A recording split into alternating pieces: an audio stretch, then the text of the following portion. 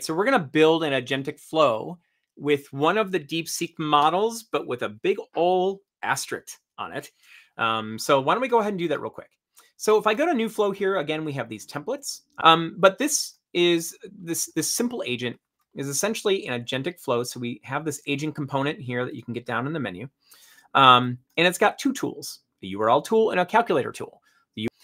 Now, um, here's the here's the fun. So let's go ahead. I'm just going to start a simple query. I'm going to say convert 200. This is a, I love doing um, this particular query because in asking a model in an agent to convert 200 USD to the Indian rupee, um, you actually are doing two things.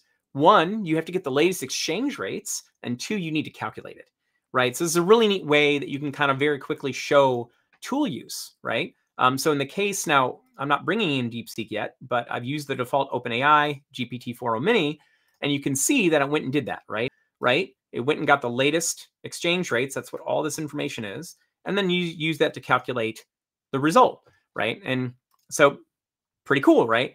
However, let's see what happens if we bring, and we try to bring in DeepSeek. Now, something I should really point out is that the DeepSeek models are not quite ready for tool calling yet, right? And right here, this is the piece I want you to see. So R1 does not support tool calling. Uh, this is for the DeepSeek chat, which is a v3.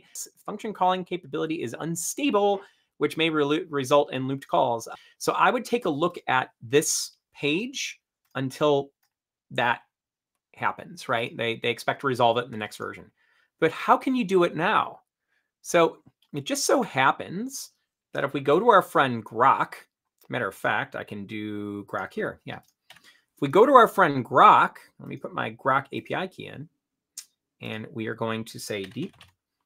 And I'm going to go for this R1 distill llama 70 billion parameter. Now, I just said a moment ago that the reasoning model from DeepSeek does not have tool calling capability. Yet, the DeepSeek R1 distill llama was built with llama as the base model, which does right? So check out what happens in this case. Oop, I don't want that.